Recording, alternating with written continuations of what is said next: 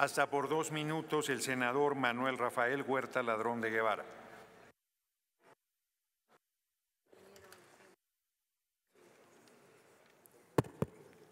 Eh, solo para informar a esta soberanía que el día de ayer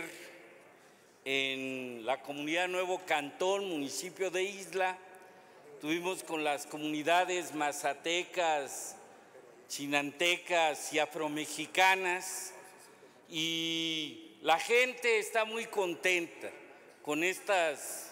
eh, procesos legislativos que por el mandato del pueblo hemos emprendido y se han logrado hoy con la declaratoria de constitucionalidad, tanto de la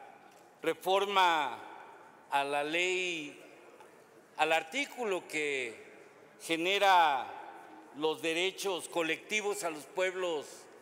originarios, porque así hay que decirlo, y a las comunidades afro-mexicanas, y también la refuerzo de seguridad que va a tener nuestro pueblo con la eh, reforma a la Guardia Nacional. Pero ayer en una asamblea masiva la gente me pidió que hiciéramos saber al pueblo de México, a esta soberanía y sobre todo a Andrés Manuel y a Claudia, que están ellos también en la idea de que las monarquías de España tienen que pedirle a nuestros pueblos originarios el perdón de todo lo que implicó